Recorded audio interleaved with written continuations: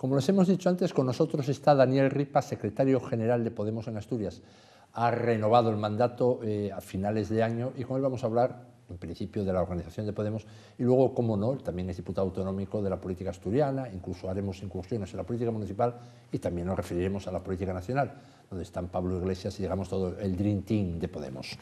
Muy buenas noches, señor Ripa, bienvenido a la Lupa. Buenas noches. Bueno, vamos a ver, ustedes en, aquí a escala regional se presentaron tres candidaturas, eh, usted ganó, ¿cómo fue esa reelección?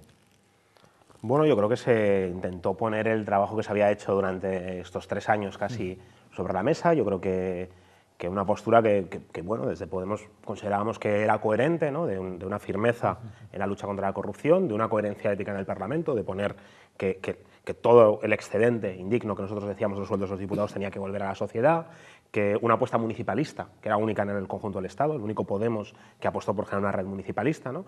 y una, sobre todo, yo creo, una relación ante el PSOE y el Partido Popular de no subordinación, ¿no? de entender que éramos una fuerza propia, que tenía un proyecto propio para Asturias y que no podía estar subordinado a ningún partido político. ¿no?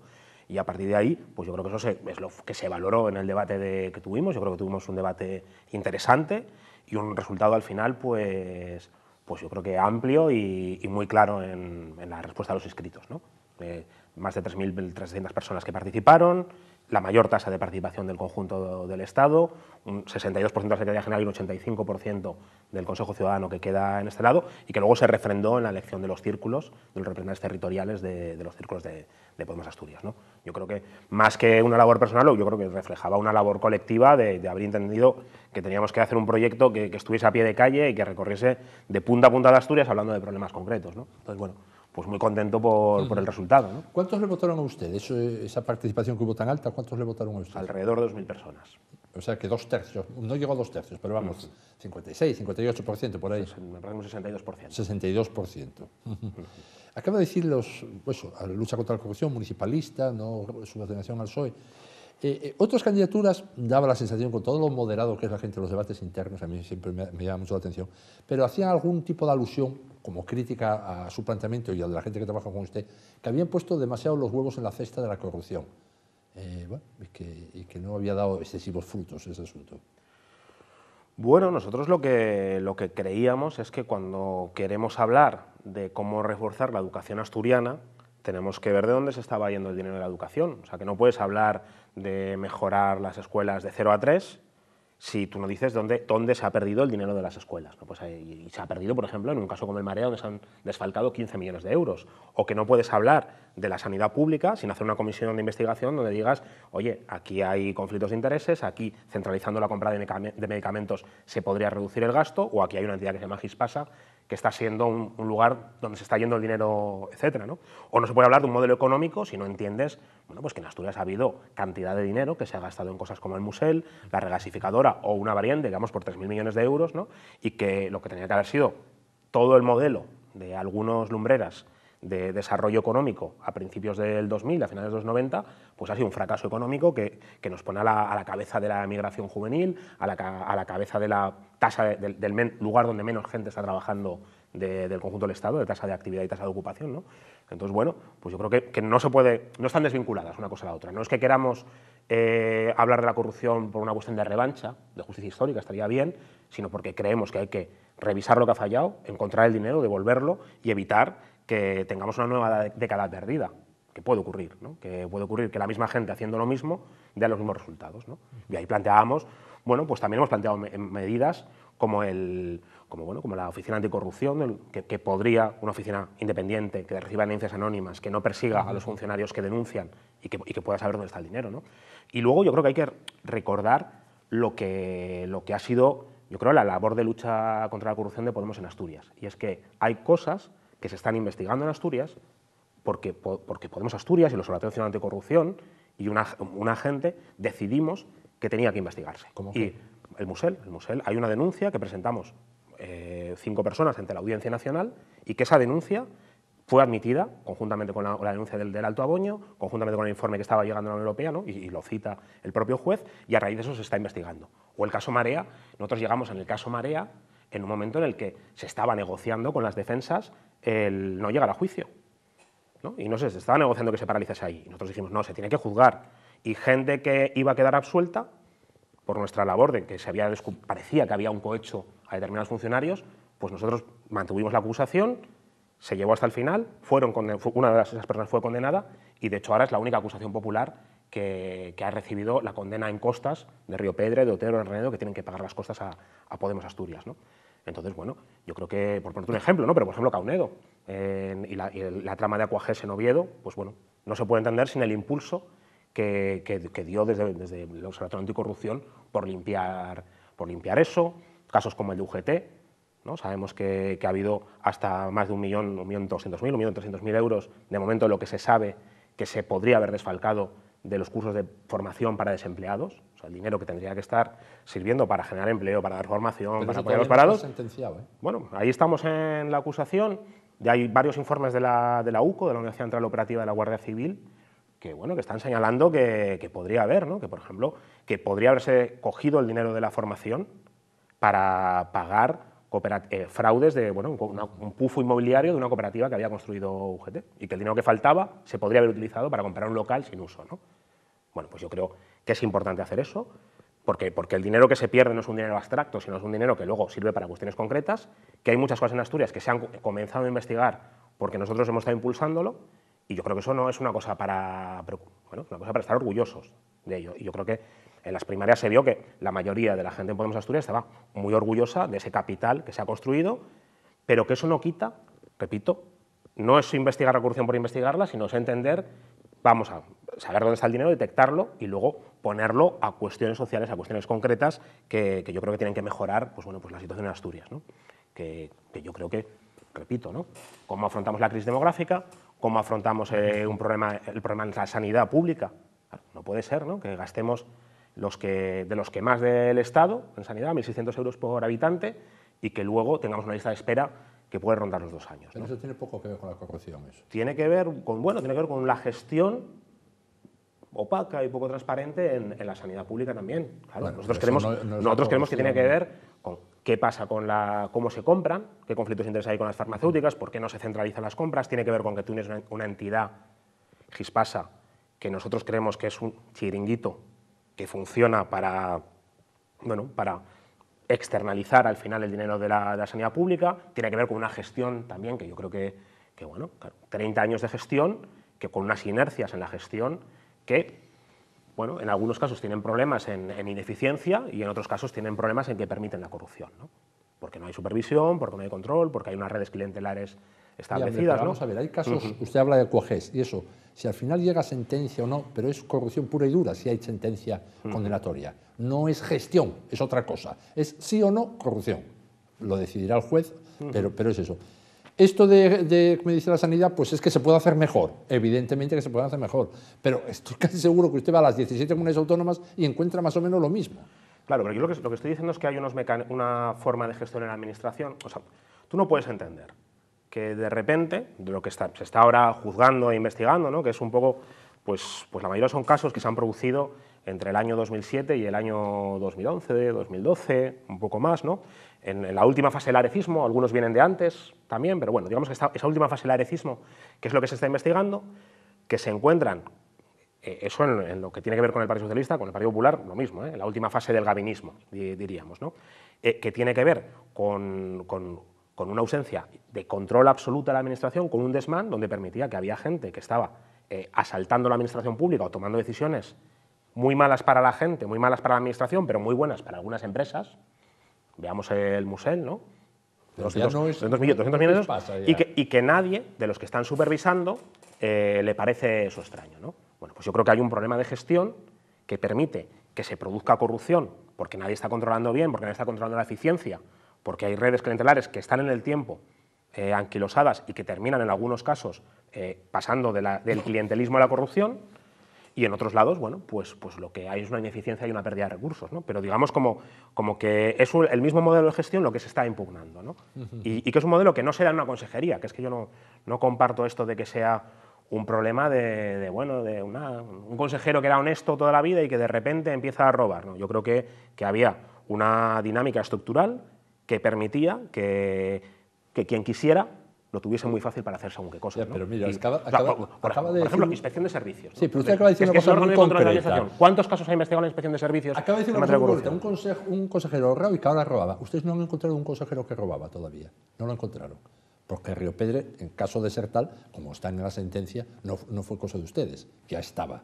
Ya estaba valorado por la opinión pública y al final en el propio Poder Judicial. Ustedes no han encontrado un solo consejero que robaba. No meto la mano en fuego por ellos, ¿eh? Por nadie meto la mano en fuego. Pero, pero ustedes no han encontrado todavía. Bueno, hemos encontrado, repito, hemos encontrado en, en el, en el puerto del Musel que se ha tomado una decisión que ha perjudicado la viabilidad y la eficiencia del puerto, un, desfa- un desfalco, una pérdida de 200 millones de euros, con dos cargos no políticos, con dos cargos políticos nombrados por el gobierno de Vicente Álvarez Areces. Pero no consejeros del gobierno Asturias. nombrados, por, nombrados a dedo por Vicente Álvarez Areces y refrendados por el Ministerio de por puestos del Estado. Entonces, bueno, eso son responsabilidades políticas. Me- de momento, en otros casos, bueno, pues vamos a ver, vamos a ver que hay directores generales, vamos a ver qué pasa, en, qué pasa con el caso HITPA, qué pasa con el caso UGT, qué pasa con el, bueno, si hay responsabilidades políticas, nadie sabe, en Villa, ¿no? En el caso Villa, Villa robaba, o parece que, ya veremos si robaba o no, ¿no? Veremos cuando acabe el juicio, pero bueno, aparece con, con un millón y medio de, euros allí, que parece que viene de, de cierto dinero, nadie controlaba esas obras, ¿no? Bueno, pues, pues, oye, yo creo que, que- de verdad que hay un problema de gestión, porque, porque si no pasa, claro, que aquí nadie, nadie sabía nada. Todo el mundo dice, no, yo no sabía nada de lo que estaba sucediendo. Bueno, pues yo creo que como, como mínimo se dejaba hacer. Como mínimo se dejaba hacer y se permitía que, que se llevase, bueno, que, que quien quisiera se pudiese aprovechar. ¿no? Y eso yo creo que es que, que se trabaja en la eficiencia de la administración. ¿no? Y el ejemplo lo, intentaba poner con la inspección de servicios, que es el órgano que, de control interno de la administración de- que tiene que investigar a los funcionarios, que bueno, yo no sé si tenía una o dos denuncias en- que había investigado en los últimos años, cuando de- declaró en la Junta General. O sea, como que ese órgano no estaba haciendo ninguna investigación y al final cualquier investigación dependía de la autorización Sí, pero de los superiores. ¿no? Daniel, para que la gente lo entienda. Eso lo encuentra usted en todos los sitios, en León, en Barcelona, en Málaga. Sin embargo, robar es una cosa muy precisa. Es muy, y una cosa son consejeros mandados al museo y otra cosa son consejeros de gobierno de Asturias. Entonces, mm, vamos a ver, si usted dice que el asunto está a manga por hombro, tiene usted probablemente toda la razón. Y además, yo no les un- niego hay un que ustedes se han puesto a valorar, a estudiar eso. Hay ¿no? un consejero condenado. ¿Eh? Hay un consejero No, condenado. pero no por ustedes. El co- condenado, no. condenado en un juicio donde estaba la acusación popular. no, pero mucho antes de que ustedes entraran en política, para nada, ese consejero había estado ya en la cárcel. ¿eh? O sea que vamos, no es producto de su... Yo no les niego que ustedes han trabajado en eso en absoluto, es más, lo acaba de desgranar usted, todas las cosas en las que han intervenido. Y estoy convencido que ustedes se han dedicado a todo este asunto con interés. Y han mirado sumarios, y han mirado cosas muy complicadas de mirar, y, y- toneladas, toneladas de documentación. Porque eso, como me decía a mí un abogado participó en uno de estos asuntos que usted acaba de nombrar, dice, entrar en aquella sala que nos dejaron ver toda la documentación que había, además que estaban ustedes en, esa- en ese asunto, dice, era, mm, daba sudor frío ver toda aquella cantidad de documentación. Ahora, mm, bueno, la otra postura es que en dos, tres años, mucho práctico, mucha, digamos, asunto completamente negro, no, bueno, sí, usted puede decirlo de UGT, UGT está, se está, está un sumario abierto, está también otro, el del Musel también, pero... Porque los juicios yo creo que tienen, es un Sí. procedimiento que, que lleva años. Sí, pero no están, lleva imputados, no están imputados consejeros del gobierno, de ningún gobierno asturiano, que eso es importante. Evidentemente mm, tampoco son particulares los que están allí en el sentido más... Bueno, pero yo antes de entrar en ese asunto, que ya lo hemos abordado ahora bastante, quería preguntarle por alguna cosa más interna a ustedes. Usted ha ganado... A ver, diga, diga. Claro, pero que yo creo que, que yo creo que hay responsabilidades políticas. Ya veremos. Ya veremos si hay No, responsabilidades eso es judiciales. otra cuestión. Ya veremos cuando acaben los procesos si hay responsabilidades No, judiciales. pero esa es otra cuestión. la responsabilidad política es otra cuestión. eso no se lo niego. De que, de que, hombre, si tú nombras a alguien que, que en principio desfalca parte del dinero y tú no haces esa supervisión y tú no supervisas el control de las cuentas y te entrega una factura, como la hemos visto, te entrega una factura que pone 300.000 euros, formación, y tú, el, go- el, el que tiene que supervisar, dice, oye, pero 300.000 euros, ¿cómo que 300.000 euros formación? Dime en que te has gastado 300.000 euros, que es mucho dinero. Y tú no dices nada, bueno, pues yo creo que hay una responsabilidad política de, de control. ¿no? Sí, sí, y, que no permite- y, que, niego. y que además es absolutamente necesaria Sí. esa responsabilidad política para que luego se pueda, se, se pueda producir lo que se produce. Porque si hay alguien que dice, no, no, mira, vuelve con la factura y explícame en qué han sido los gastos, pues entonces acaba la impunidad. ¿no? No, pero si luego- eso- pero, pero es que luego, además, en el propio procedimiento judicial, lo que hemos visto eh, desde el gobierno del Principado de Asturias ha sido precisamente la ligación y el, nulo apoyo en los procedimientos. O sea, lo hemos visto, ayer salía publicado en prensa que el propio, que la, tenía que apercibir el juzgado al gobierno para que entregase la lista de, directores de centro, en el caso María, porque estaba retrasando. Sí, es una acusación particular que no era acusación en la práctica. Entonces, bueno, Quiero decir que, en la práctica, y eso se repite en todos los procedimientos, que, lo que, la actitud del gobierno, en vez de llegar hasta el final y recuperar el dinero, es lo contrario. ¿no? Y entonces, bueno, yo insisto, no, veremos, cómo acaba y veremos dónde acaban las responsabilidades. pero, pero responsabilidad política, ¿sabe usted dónde se ve? En que desde entonces a hoy hubo tres elecciones en Asturias, 2011, 2017, y el PSOE, que sacaba siempre por encima de 20 diputados, está bajando y ahora está en 14. Eso es parte de cómo se sustancian las responsabilidades políticas en una democracia, porque evidentemente se puede hacer que dimitan esas personas cuando están en el ejercicio, pero cuando se coge años pasados y una legislatura por medio, la sanción más práctica del pueblo es el voto popular. Y ese voto a 14, a llegar a 14 diputados que tiene el Partido Socialista, que no tiene ni un tercio de los diputados de la Cámara, ni un tercio, ese es el mejor ejemplo de que estas cosas le pasaron factura. A mí, por lo menos, creo que es la forma de valorarlo. Vamos a ver, usted nos contó ahora lo de las reelecciones. Quería preguntar, en el órgano o colectivo de, bueno, pues de dirección de la fuerza política, el Consejo Ciudadano, ¿ustedes también, la gente que estaba en su candidatura, tienen mayoría? Sí, sí. Eh, se elegía conjuntamente, bueno, la mayoría ahí es del, pues, en, 30 en torno a 37 de los 44 miembros que... que una mayoría amplísima, 37 de 44. Eh, eh, entonces podemos decir que ustedes tienen ahora por delante un mandato, una mayoría consolidada en principio. Sí, yo creo, bueno, yo creo que creo que hay un proyecto consolidado de, muchísimo trabajo a nivel municipal y de muchísimo trabajo a nivel territorial. Y creo que eso es, al menos, un rasgo de identidad de Podemos Asturias del que estoy orgulloso. Eh, ustedes dentro de la fuerza política, eh, la gente quiere saber cómo se alinean. ¿Están a favor de posturas como las de Pablo Iglesias, de otros dirigentes de la organización que no son del agrado de Pablo Iglesias, aunque en su día lo eran, Íñigo Rejón, eh, Carolina Vescanza, etcétera? ¿Cómo se sitúan ustedes? Pues nosotros defendíamos que tenía que haber una vía asturiana y que esa vía asturiana tenía que tener pues, dos rasgos de identidad, ¿no? bueno, tres rasgos de identidad. el primero, nosotros defendíamos que eh, Podemos tenía sentido si se descentralizaba al máximo, se buscaba arraigar en el territorio, que el mayor riesgo que podía tener Podemos es ser un partido franquicia, ¿no? que un partido donde hubiese la cara de un dirigente en Madrid y que, y que tú fiases tu éxito a, cómo le fue, iba el dirigente en Madrid. ¿no? Nosotros creíamos que tenía que arraigarse, que tenía que llegar a cada pueblo y que, y que eso, bueno, y que eso es al final lo que iba a dar en el futuro pues, pues, pues sentido. ¿no? Eso, hubo una apuesta que fue, ya repito, lo he comentado al principio, única en Asturias, porque aquí se apostó por una vía municipal y por presentar candidaturas municipalistas en muchos ayuntamientos. Eh, luego se apostó por un intento de evitar esa confrontación entre sensibilidades de, Podemos. Y, hubo una cosa, bueno, aquí lo estuvimos comentando el año pasado, eh, cuando fue el proceso de Vista Alegre 2, nosotros intentamos cohesionar las diferentes percepciones y visiones que podía haber en Asturias, entendiendo que, no eran tan grandes las diferencias entre una y otra postura y que había que buscar los puntos de encuentro. Y al final yo creo que, hubo un proceso de vista alegre en Asturias que fue muy tranquilo y que se, se mantuvo al resto, a lo largo del año y que entendió que, había, bueno, pues que al final había gente que podía tener más simpatías por unos u otros dirigentes, que todos eran dirigentes de Podemos, pero que lo importante era tener un proyecto arreglado del territorio.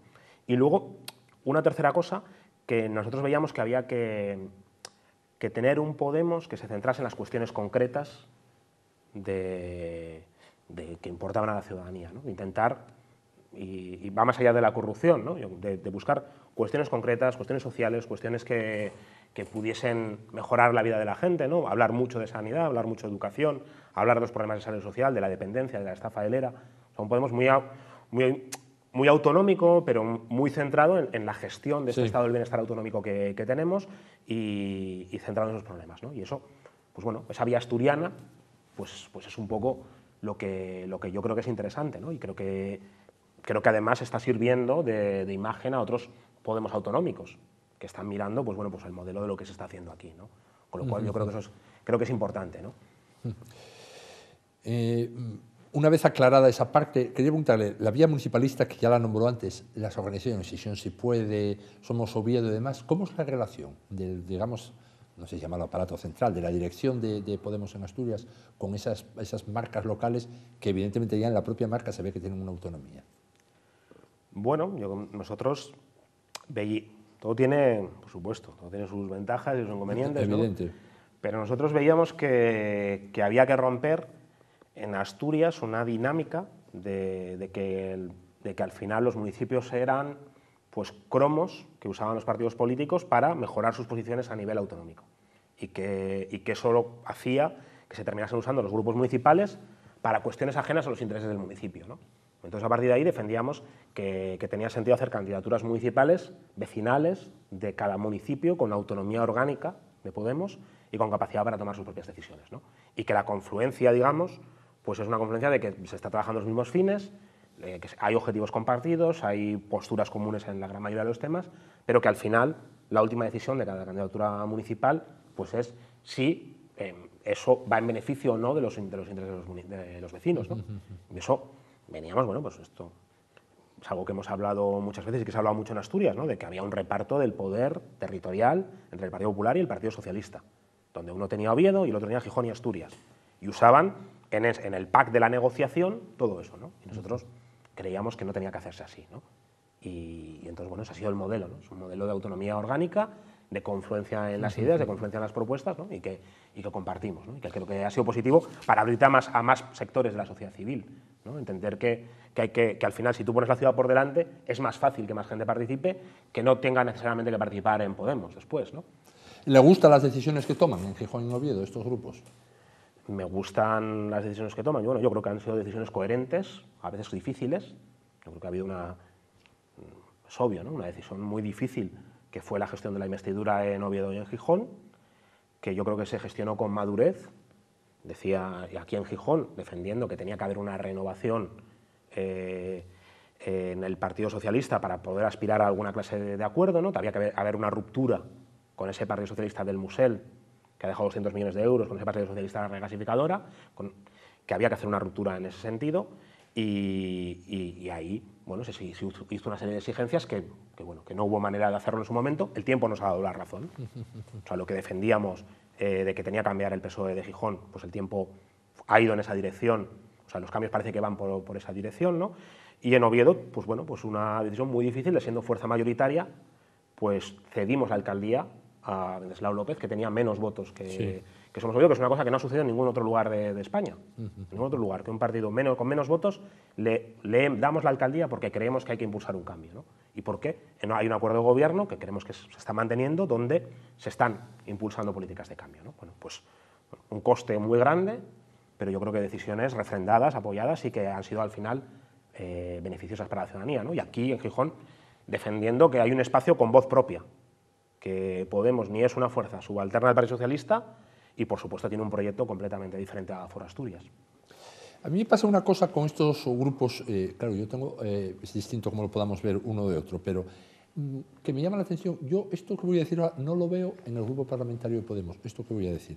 Sin embargo, lo veo en Gijón y el grupo de elecciones, me parece de una enorme debilidad, propio de fuerzas que al, ser jóvenes y no tener mayoría absoluta, son muy, muy, muy vulnerables por más que crean que Me refiero a las posiciones que toman. Rechazamos el presupuesto de Gijón porque no se municipaliza el servicio de ayuda a domicilio. Oiga, ¿de qué están hablando? O sea, el presupuesto de Gijón, porque no se municipaliza. No, no, es que lo municipalizaron en Chiclana. Ah, ah, en Chiclana. Es sorprendente. De un partido que tiene una mayoría. Las posiciones en política se toman con cosas, elementos sustanciales de mayor peso. Por ejemplo, ustedes, lo hablaremos ahora, eh, llegaron a un punto de fricción irreparable en la batalla del presupuesto por un objetivo que era muy visible, que tenía gran apoyo, yo lo veo simplemente en la tertulia que modero aquí, la cantidad de gente en distintas posiciones que les parecía bien que la educación de 0 a 3 años fuera pública, universal y gratuita.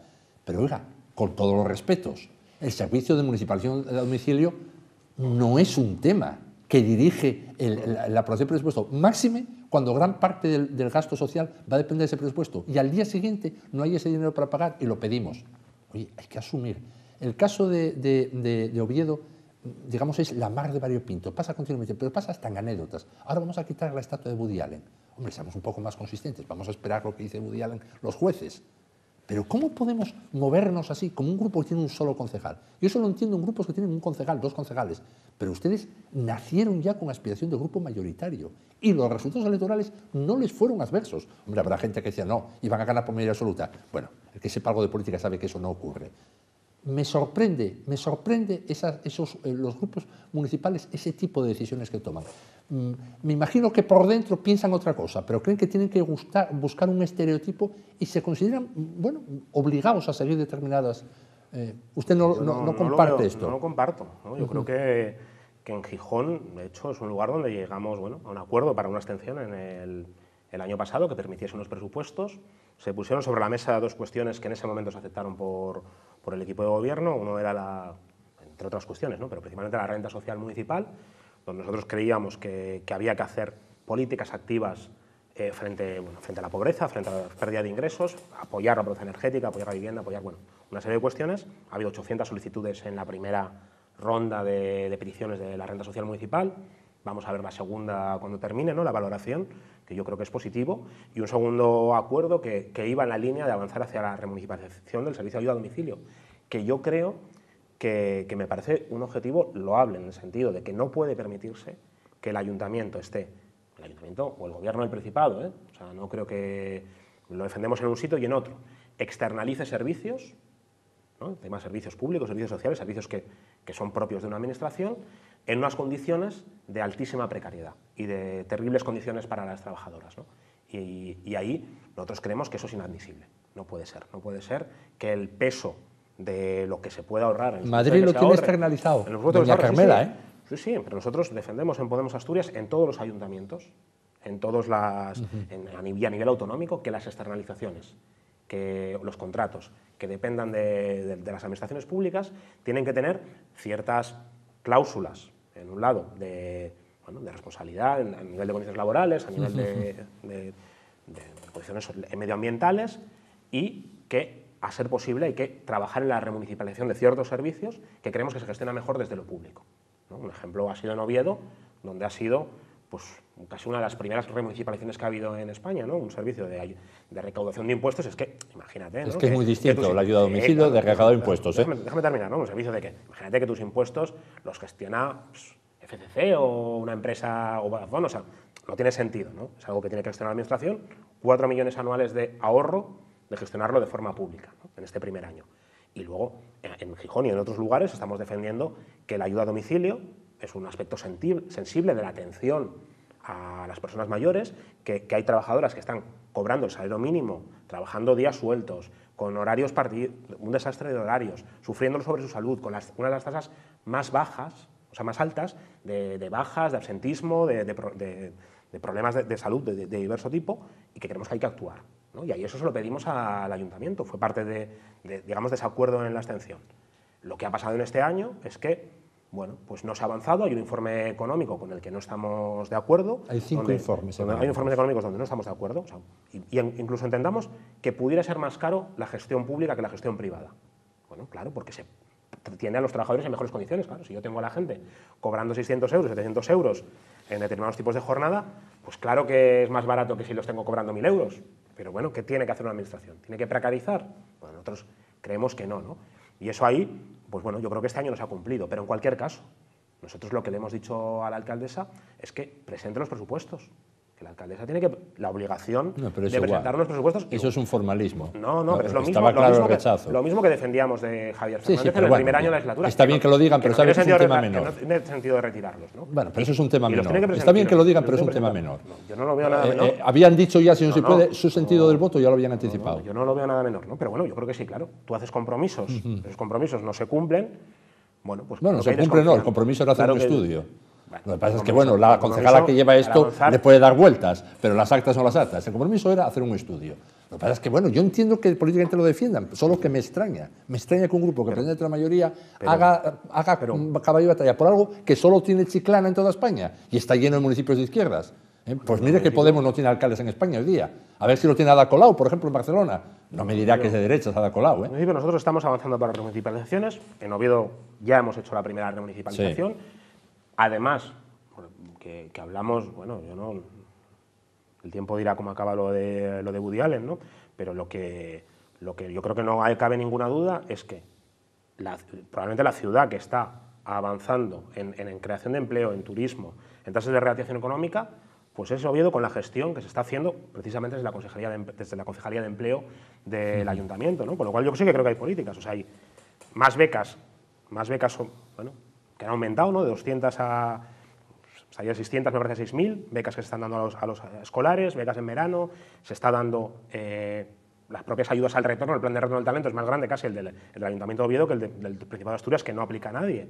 Se está trabajando en planes de empleo que están generando empleo en la ciudad, se está haciendo propuestas de modernización de la ciudad. Yo creo que se notan las diferencias entre un municipio y otro. ¿eh? Yo creo que hace falta cambiar, bueno, si, queremos de verdad ser, ser una comunidad autónoma con viabilidad y con futuro, pues necesitan municipios que tengan un proyecto de futuro, que tengan un proyecto a 10, a 20 años vista, que tengan un proyecto de modernización. Y, y yo creo que parte de eso se está viendo, repito, una situación muy difícil en un gobierno, al final gobernar en coalición pues tiene sus, sus ventajas y sus inconvenientes. ¿no? Y, bueno, y ahí yo creo que hay avances palpables ¿eh? en materia de empleo, en materia de turismo, en materia de dinamización económica y en materia de gestión de que cuando se deja de robar, o de presuntamente, bueno, no sé si robar, pero bueno, de dejar pufos de 100 millones de euros, ¿no? que eso como era la situación en Oviedo, pues se gestiona la deuda y, y pasa una gestión, yo creo que excelente de económica, pasa en Barcelona, pasa en Madrid, pasa en Oviedo y pasa en las principales ciudades que se está gobernando con candidaturas del cambio. Quería entrar en las cuestiones del Principado, que además está usted como, como diputado. Eh, em, el no acuerdo presupuestario que hubo en, en diciembre, eh, quería saber, ustedes, usted que estuvo en la negociación, ¿estuvieron cerca en algún momento el Partido Socialista, el Gobierno y ustedes, Podemos, en esa negociación, que el PSOE además había marcado como que la pieza eh, clave eh, para que hubiera presupuestos era el acuerdo con Podemos, ya que Izquierda Unida ya había dicho que aprobaba las cifras que le daban, que querían volverlo luego en un discurso y en una serie de cuestiones que no son en sí de partidas, sino de, bueno, pues digamos, un tono de, reivindicativo de izquierdas y demás. Eh, ¿Estuvieron ustedes cerca? ¿Hubo una negociación al final en que el PSOE mm, puso la carne en el asador y estuvieron cerca o no? ¿O, fue repetir posturas durante varias reuniones sin, sin, acercarse? Yo creo que, no lo sé, viéndolo con perspectiva, yo no sé si Javier Fernández quería aprobar los presupuestos. ¿De verdad? Yo no lo sé, porque yo te pongo la, la situación. O sea, yo creo que hemos tenido diferentes negociaciones presupuestarias del balance. El primer año yo creo que fue bueno, pues una petición muy clara de las cuentas, entender exactamente dónde se estaba yendo el dinero, plantear alguna medida muy concreta. Bueno, una negociación que en realidad acabó muy pronto, donde el gobierno yo creo que, intentaba jugar con el miedo, ¿no? de si tú no me apruebas los presupuestos, voy a acosarte, voy a decir que tú la culpa de que se paralice Asturias es tuya. Yo creo que eso le podía haber funcionado bien en el pasado, creo que no funcionó. El segundo año bueno, pues una negociación en un momento muy complicado donde el Partido Socialista ya tenía el apoyo dado del Partido Popular antes de empezar, donde al final lo impagable de haber puesto Mariano Rajoy y Moncloa por Javier Fernández, pues iba a tener una consecuencia de apoyo, de cambio de cromos en los presupuestos. ¿no? Y a pesar de eso planteamos una propuesta de, modernización fiscal, entendiendo de que había que rebajar sucesiones, algo, había que aumentar patrimonio, porque la gente más rica es la que no está pagando en, ni en Asturias ni en España, ahí hay un, había que poner y había que modernizar el IRPF para que no cayese el peso sobre las clases medias. ¿no? Bueno, redistribución de los tramos. Bueno, eso no funcionó porque, repito, ya había un acuerdo con el Partido Popular que costó 20 millones de euros en reducción de ingresos para, para, este, para este año. ¿no? Y este tercer año, a pesar de eso, intentamos pues, empezar con la mayor honestidad posible. ¿eh? Decir, bueno, vamos a poner propuestas concretas, vamos a poner cinco bloques de propuestas concretas, vamos a ver hasta dónde llega el Gobierno y si hay voluntad política, pues se llegará a un acuerdo. Y allí, mi sensación, nosotros pusimos una modificación presupuestaria en torno a 45 millones de euros de los 4.485 de presupuesto del Principado, un 1%. Para valorar el impacto, el Partido Socialista en Gijón exigió casi un 50 millones, 22 millones de euros de modificación presupuestaria a Carmen Morillón. Ellos pedían un 22% de modificación de los presupuestos, nosotros pedimos un 1%, que yo creo que es una cifra, bueno, modesta. 45 millones, con el PP pactaron 20 millones. ¿Qué sucedió? Bueno, cinco bloques. Planteamos una propuesta de reactivar la ley anticorrupción de, de Podemos, que ya estaba casi pactado el contenido en la ley de transparencia, pero bueno, reactivar dentro de la ley, poner presupuesto que ya estaba presupuestado en 2016. En materia de vivienda planteamos desde aquí al 2030 ampliar 750 viviendas anuales para llegar a, eh, a, bueno, a un parque, a doblar el parque público en torno a 20.000 viviendas, me parece, doblarlo en el año 2030. En materia de sanidad, la contratación de 450 profesionales en sanidad para reducir las listas de espera, que nosotros creíamos de dónde se podía ahorrar, cuánto había que contratar en vacantes y en nuevas plazas, 200 y 200, ¿no? y a partir de allí creíamos que se podía reducir las listas de espera intentando llegar a 90 días máximo de, espera, de una espera para una consulta, para una prueba. ¿no? Y, luego planteamos, en materia de contratación pública responsable, incluir cláusulas sociales en la contratación y finalmente las escuelas de 0 a 3. Bueno, eso fue como el pack presupuestario. Lo que nos encontramos fue que de la ley anticorrupción, pues más o menos se mantenía lo que ya estaba, sí que hubo algún avance en el sentido, pero, pero modesto. El gasto de la ley anticorrupción ya lo compensamos con la supresión del CES, o sea, que no valía para nada, o sea, como que el dinero de un lado a otro, pero ahí se amortizaba solo. En materia de vivienda, pues era ridícula la propuesta del gobierno, o sea, se dedicaba más dinero a, rehabilitar la cúpula del Reconquista que a rehabilitación de vivienda social, cuando tenemos vivienda social paralizada.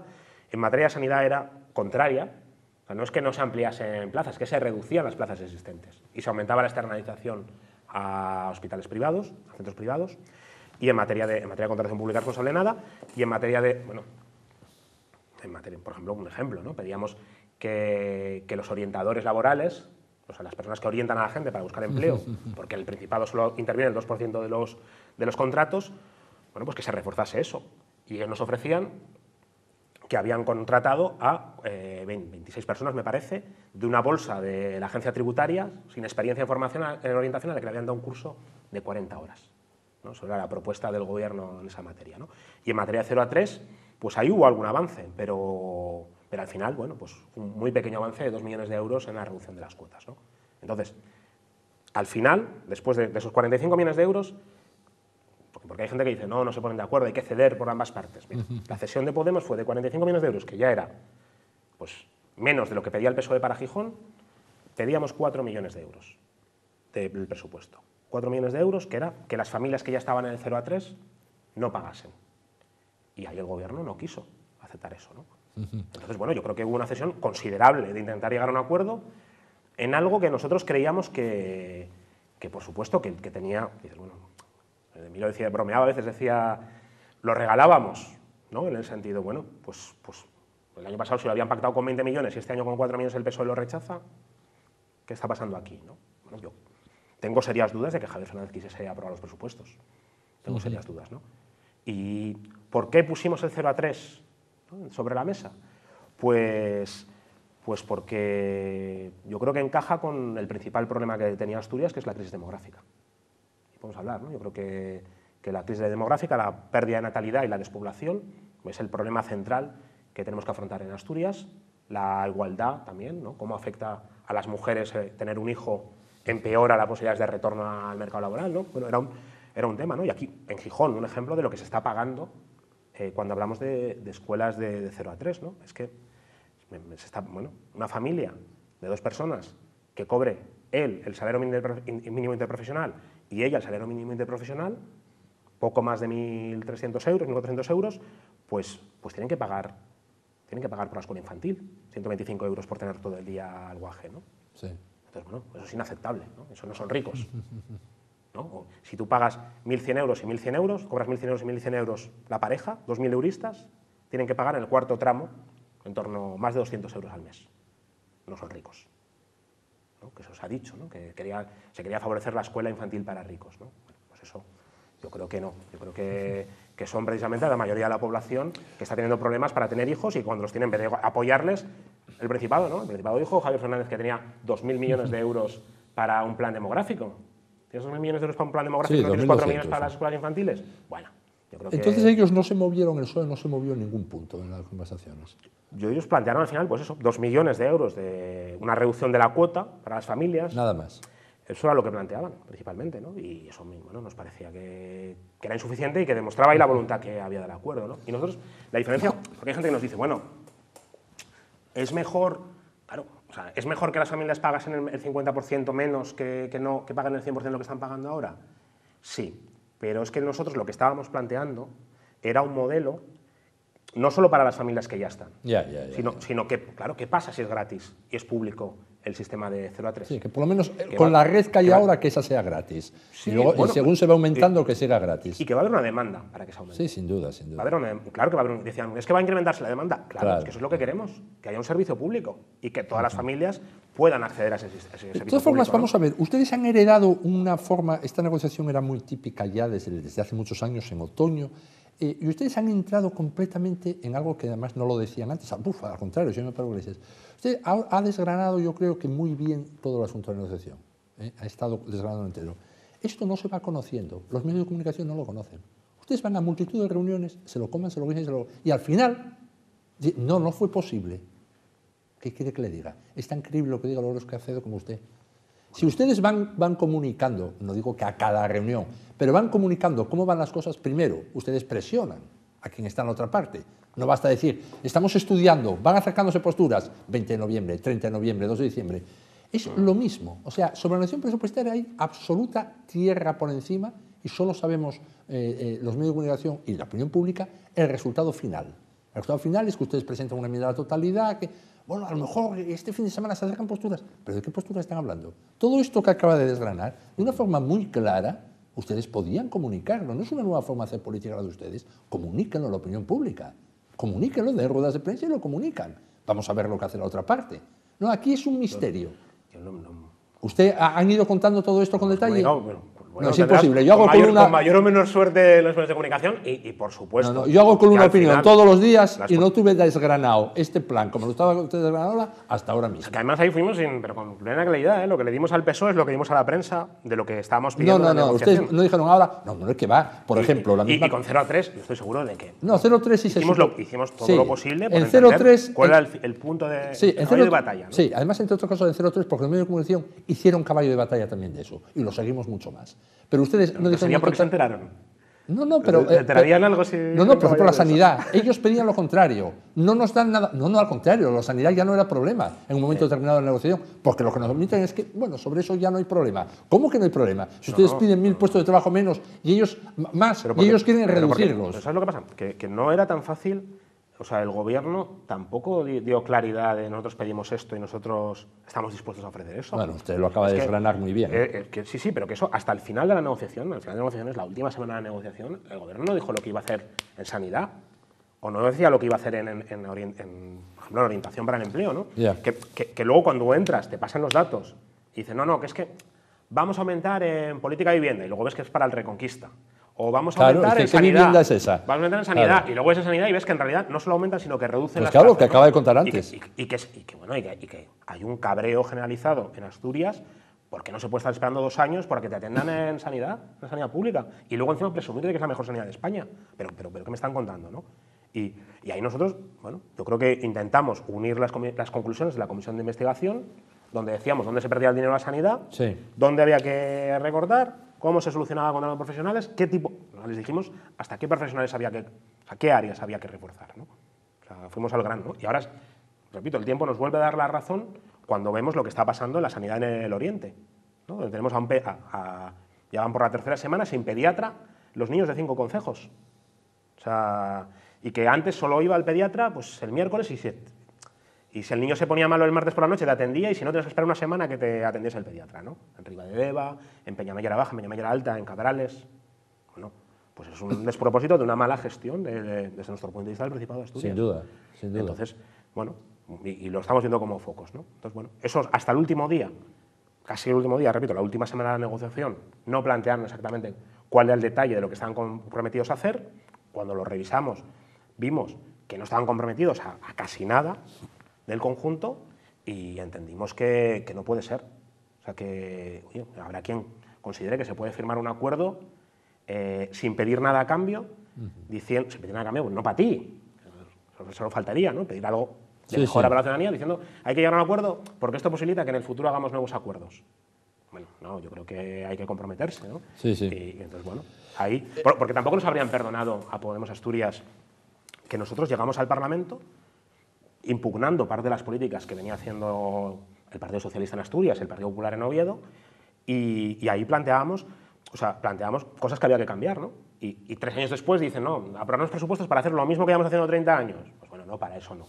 No, estamos ahí para eso. ¿no? Vamos a ver, en la negociación ustedes en un momento determinado eh, se ven con la Federación Socialista Asturiana de Adrián Barbón. ¿Cómo es la negociación con Barbón y con, y con los sanchistas, vamos a decirlo así? Porque la FSA, eh, la dirección de la FSA es, es, monocolor. Pues bueno, no es que nos viéramos, es que Adrián Barbón, o sea, el representante de la FSA, eh, el concejal de Elena, de Bayón, eh, estuvo en la negociación presupuestaria desde el principio. ¿Y no hubo separación entre negociación presupuestaria con el gobierno y con la FSA. ¿Adrián Barbón estuvo en la negociación? Estuvo el representante de Adrián Barbón. Que es Bayón. Bayón estuvo en la negociación presupuestaria desde el día 1, ¿no? Y, yo entiendo... O sea, no se vieron con el secretario general en todo el tiempo. Eh, tuvimos algún contacto, alguna llamada en el momento, ¿no? Pero no hubo una negociación específica porque se entendía que estaba parte de la negociación estaba dentro de la Y este señor más o menos de convidado de piedra en las reuniones. Yo no sé las discusiones que tendrían luego No, pero con ustedes. Nosotros, Estaba callado. Bueno, es que el concejal de Elena, con todos los respetos para él, no es, digamos, un, peso pesado en, estas cuestiones. Bueno, yo eso no lo, Bueno, hombre, yo, me, yo me, me tomo la libertad de decirlo. No, yo no estaba en las, reuniones de la negociación presupuestaria, el equipo estaba Emilio León, Lorena Gil, pero, pero bueno, yo entiendo que la FSA forzó hasta donde pudo o hasta donde quiso. Y ahí me habría, a mí me habría gustado, por supuesto, que la FSA hubiese conseguido convencer al gobierno de Javier Fernández de que tenía que ceder en cosas como el 0 a 3, que yo creo que además era una cuestión de demanda social. Yo creo que, que a la mayoría de la ciudadanía le parecía bien. ¿no? ¿no? Era un gasto asumible, le parecía bien a la gente, era una propuesta de cambio. ¿Por qué no convencen a Javier Fernández? Pues eso lo tendrán que, explicar, ¿no? Yo creo que... Sí, le digo todo esto porque... Eh, no, creo que sea fácil hacerse con el rumbo de la FSA, creo que tiene sus inercias. De todas formas, eh, eh, le digo todo esto porque en las, en las legislaturas de Álvarez Areces, siendo Javier Fernández secretario general, a las negociaciones iba el secretario general de la FSA, y el secretario general de la FSA, cuando hubo que ponerles fin a las reuniones con Izquierda Unida en 2008, que no llegaron a un acuerdo, lo puso él, no lo ponía el gobierno. Es decir, que de ahí a mandar a un concejal de Elena a estar presente en las reuniones, creo que hay un abismo de diferencia a que esté el secretario general y abriendo las reuniones y cerrándolas. Yo creo que es diferente, pero bueno, era por, saber cómo era. Entonces, ustedes no, no pueden valorar hoy día si logran tener más sintonía o no con el gobierno que con la dirección del partido, con la dirección del partido que con el gobierno. Están en una situación que no tiene ningún tipo de sensación distinta. Yo creo que parte del júbilo inicial con Podemos a Pedro Sánchez se le ha pasado, ¿no? Me dijo que ya no era socio preferente, veremos, y empieza a, ha empezado a llegar a acuerdos con Rajoy, que, bueno, ya veremos hasta dónde llevan. El júbilo de Pablo eh, Iglesias, es decir, ¿no? estaba feliz cuando aquello. estaba feliz. Y Pedro también estaba feliz en su momento, ¿no? Ah, no, antes de ganar, antes de ganar. Decía que, se había equivocado que con no Podemos. que no le dejaban pactar con Podemos los poderes fácticos y que ahora podía de verdad... Que había que caminar con ellos, sí. Bueno, pues eso yo cualquier caso, ¿eh? yo el máximo respeto, pero eso se plasma en hechos. Entonces, si tú vas a una negociación y no hay hechos, pues bueno, pues, pues, pues habría que verlo, ¿no? Hechos. Pues nosotros, bueno, ante la limitación salarial no digo nada, porque lo primero que pasó en la FSA es subirse el sueldo al de portavoz parlamentario, pero, pero también pedimos ayuda en el caso Marea, les dijimos convénzanles para pedir eh, el ingreso en prisión ¿no? y que no esperemos dos años más a que eso termine. Bueno, tampoco hubo cambio en materia de corrupción tampoco ha habido cambio demasiado, ¿no? Ahí no es fácil que pueda presionar a un presidente de gobierno. Yo creo que es ya es distinto. Y, y, en esta negociación presupuestaria, pues yo creo que estaba muy claro cómo, cuál era la demanda en la cual se podía llegar a un acuerdo. Y fue muy concreta, ¿eh? que nos decían a veces, no, que Podemos no es claro. No, no, más claro. Cuatro millones de euros cuesta la gratuidad para los que ya están y vamos a hacer un plan para incorporar a los que faltan. A la gente que está en lista de espera, por ejemplo, en Gijón, mm, alrededor de 130, 160 personas están en la lista de espera, ¿no? bueno, pues no tiene que haber familias que no puedan llevar a su guaje a, una escuela infantil, ¿no? Y, entonces, bueno, yo creo que no llegaron a un acuerdo. ¿Por qué motivos? Bueno, ellos lo sabrán, ¿no? Vamos a ver, de todo esto también jugó un papel la relación con Izquierda Unida. Con Izquierda Unida les pidió a ustedes ir juntos, tener una posición común para ir a hablar luego con los socialistas. Desde un razonamiento que no es banal, que es decir, que entre ustedes y Izquierda Unida tienen 14 escaños, igual que tienen 14 los socialistas. Ustedes rechazaron esa, esa oferta. Eh, ¿no les parece que fue una, digamos, una decisión con consecuencias el rechazar esta oferta? No exactamente, porque nosotros no decíamos eso. Nosotros decíamos que la experiencia de otras negociaciones presupuestarias, eh, con el portavoz parlamentario de Izquierda Unida, era que en la negociación A3 las propuestas que salían de esa negociación a tres, y que en la parte que tenía que ver a Podemos y Izquierda Unida, no eran más exigentes con el PSOE, sino menos. Esto era una cosa para nosotros incomprensible. Decíamos, nosotros nos juntamos con el PSOE, defendemos un acuerdo y lo lógico es que si luego hay alguien que, que, en teoría hace fuerza con nosotros, pues el acuerdo es más exigente y se incorporan más cosas, más, más cuestiones sociales, más cuestiones de cambio presupuestario, pero no al revés. eso es lo que a nosotros nos, nos, volvía un poco, era incomprensible, decir, y decir, entonces, bueno, 9 más 5 tienen que implicar más presión al PSOE que menos. Pero eso no había sucedido hasta la fecha, sino sucedía lo contrario, que 9 más 5 a veces era menos presión. Entonces lo que decimos, pues, aparte de, con todo el respeto de que estamos impulsando iniciativas conjuntas en el Parlamento, pero lo que dijimos es, vamos a hacer eh, una, vamos a asegurar que el PSOE no se escape, que firme compromisos con Podemos y luego, por supuesto, que se puede incorporar a Izquierda Unida para ampliar los compromisos y tener un acuerdo más reforzado, ¿no? Pero, pero no al revés. Bueno, es más o menos lo que yo le dije. El resultado final es lo que no, al revés, no al revés, porque si no lo que y al final lo que sucedió es que el acuerdo de Izquierda Unida y el PSOE era el mismo presupuesto del Partido Socialista.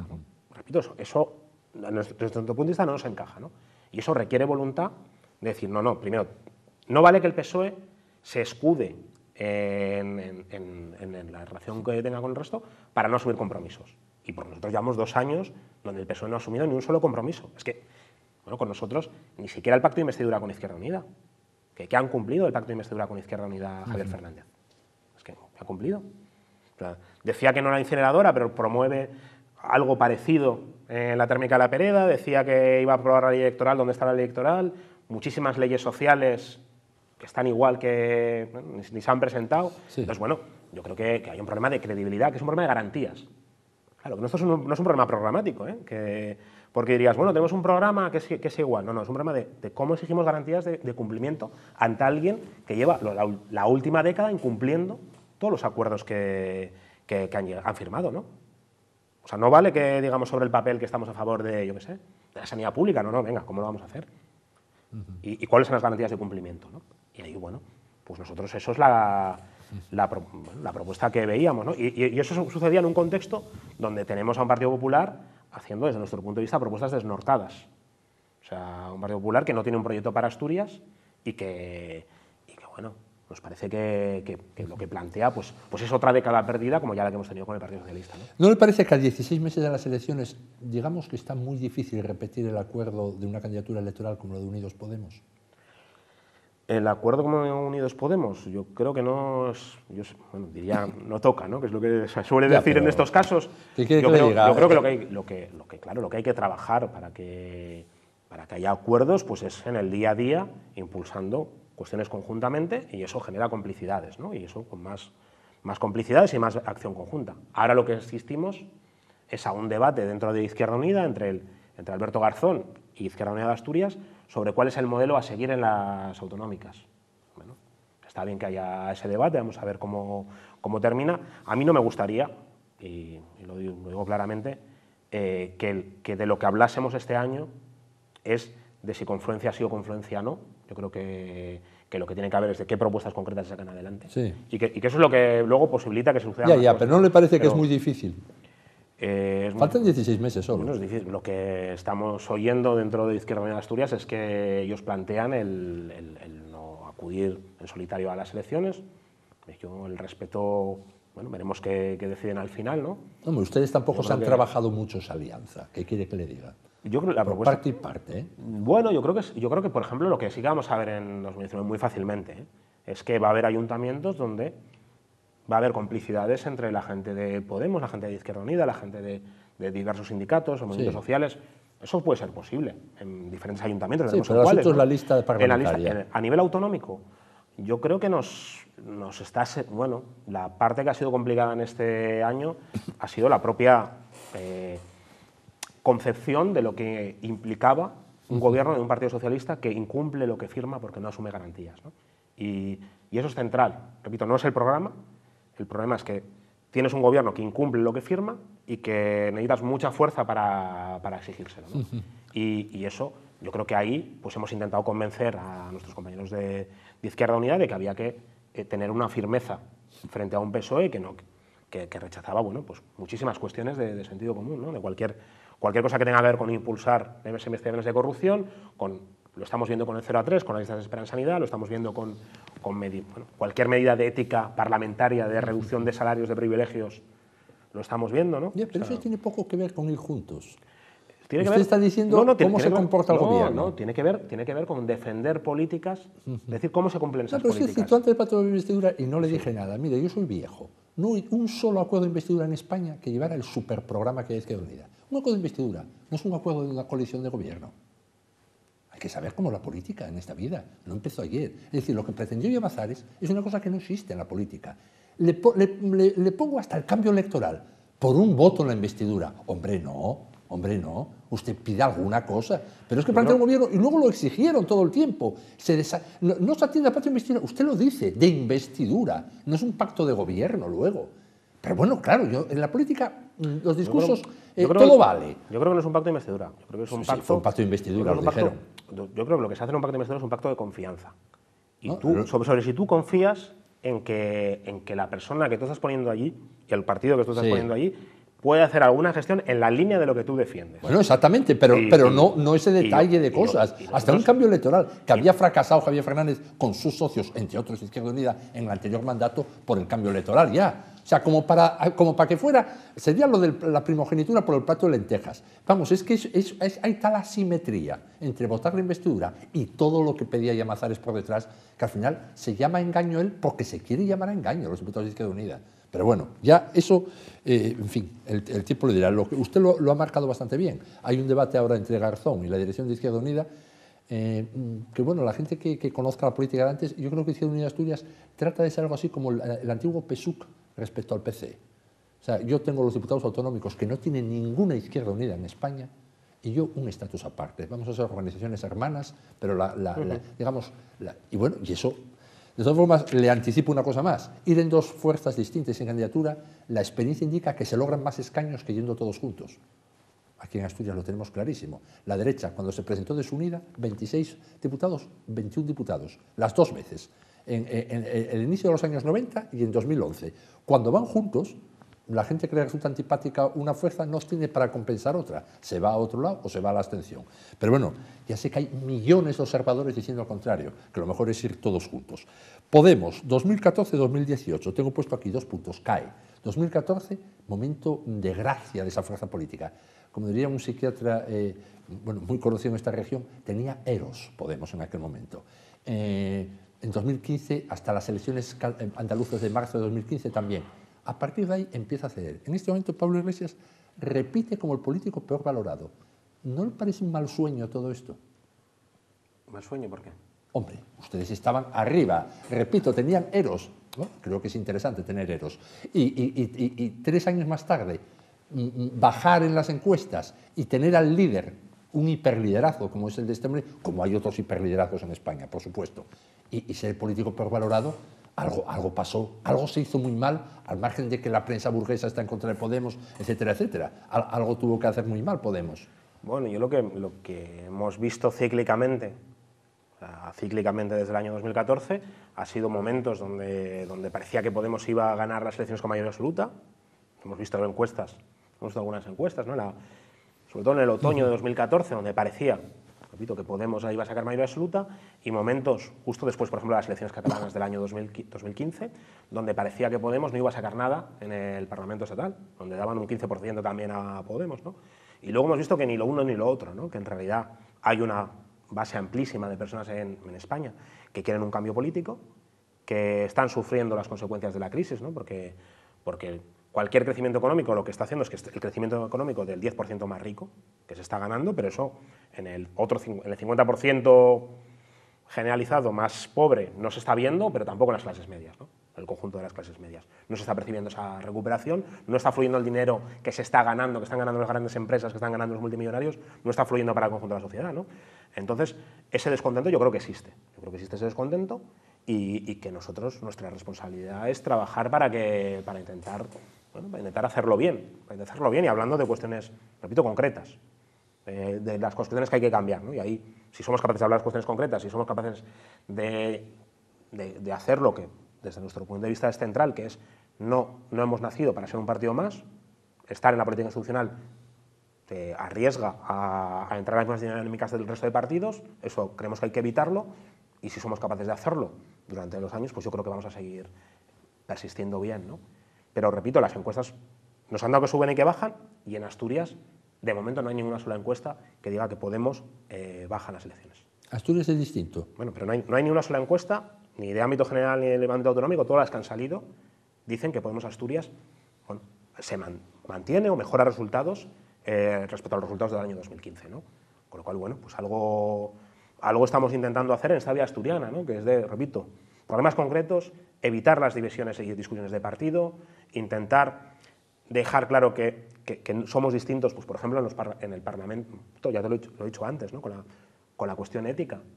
O sea, nosotros estamos a favor de reducir los salarios de los parlamentarios o al menos de vincularlos a cómo lo hacen de, bien, cuál es, cuál es la mejora del salario mínimo interprofesional, cuál es la mejora en, determinados indicadores. ¿no? Y eso, bueno, este año vamos a donar, o sea, esta, legislatura vamos a donar un cuarto millón de euros a proyectos sociales. esto lo puede hacer cualquiera, mm, nosotros estamos a favor, hay un compromiso ahí ético. ¿Cuánto cobra cada uno de ustedes en la práctica? ¿Cuánto cobran? En la práctica neto bruto. Bueno, diga neto, que es como la gente lo entiende. Neto en torno a cerca de 3.000 euros. Neto. neto 2.800 me parece que, que, suele ser neto. Si es paga extra, pues el doble. ¿Y de eso, y de eso cuánto va para cada uno de ustedes según ese código ético que tienen? Pues, por ejemplo, yo te hablo de lo que estaría donando yo, pues cobro 1.950 euros, todo el excedente de... 900 euros los dona, mm, más o menos. Eso sí, y luego en las pagas extras las, las dono a proyectos sociales, ¿no? proyectos sociales. O sea, que usted dona cerca de 20.000 euros. Sí. Es una... Bueno, o 18.000, o sea, dice el cálculo. Sí, sí.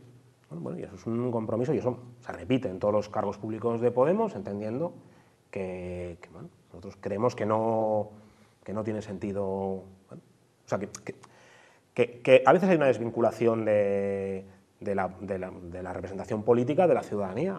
Si la ciudadanía está sufriendo la crisis, está teniendo contratos de 30 días, o, o, ve que, que reducen las pensiones, continuamente y que no se actualiza con el IPC. ¿no?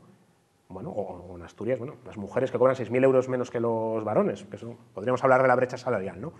Bueno, pues yo creo que cuanto más alejado estás de eso, de esas experiencias, pues más fácil es que hagas políticas con otra urgencia.